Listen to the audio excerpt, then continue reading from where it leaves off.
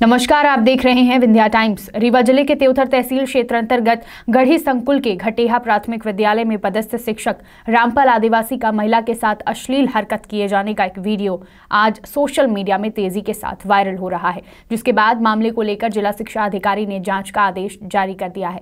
बताया जा रहा है कि शिक्षक स्कूल में अध्यापन का कार्य करके लौट रहा था, तभी उसका महिला से संपर्क हुआ और खुले मैदान में ही शिक्षक ने महिला के साथ अश्लीलता शुरू कर दी, जिसका पास से निकल रहे लोगों ने वीडियो बना लिया। रीवा के त्योथर तहसील क्षेत्र स्थित घटेहा प्राथमिक विद्यालय में शिक्षक के पद पर पदस्थ रामपल आदिवासी का यह एक वीडियो इन दिनों सोशल मीडिया में तेज़ी के साथ वायरल हो रहा है, जिसमें वह एक अज्ञात महिला के साथ अश्लील हरकत करते हुए देखा जा रहा है। हालाँकि वीडियो में यह भी बताया जा रहा है कि वह महिला का परिचित है, लेकिन फ़िलहाल पूरे मामले की स्पष्टता नहीं है। मामले की जानकारी जैसे ही जिला शिक्षा अधिकारी गंगा प्रसाद उपाध्याय को हुई तो उन्होंने तुरंत ही वीडियो की सत्यता को जानने का प्रयास किया और शिक्षक के खिलाफ जाँच के आदेश जारी कर कार्यवाही की अनुशंसा की है।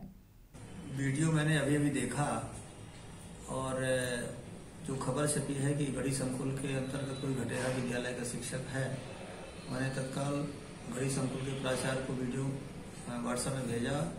उसके पहले मैंने पूछा तो उन्होंने कहा, मुझे इसकी भी कोई जानकारी नहीं है। लेकिन मैंने वीडियो भेज करके उस चेहरे को दिखाया और उन्होंने कहा, देख करके बताइए, ये आपके संकुल का कोई शिक्षक है?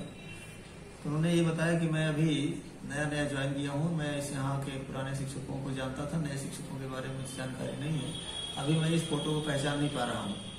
और कल मैं इसकी पूरी विधिवत पहचान कर, जाँच करके यदि वो शिक्षक है तो उसके खिलाफ मैंने मैं यहाँ से अनुशंसित करूँगा कार्यवाही के लिए। और जैसे ही मुझे खबर मिलेगी उसके बारे में, मैं उसके खिलाफ सख्त कार्रवाई करूँगा क्योंकि शिक्षक होकर भी इस तरह से जो घृणित कार्य किया है समाज में जो गलत मैसेज जा रहा है, उसके लिए निश्चित रूप से वो दंड का भागीदार होगा शिक्षक रामपाल आदिवासी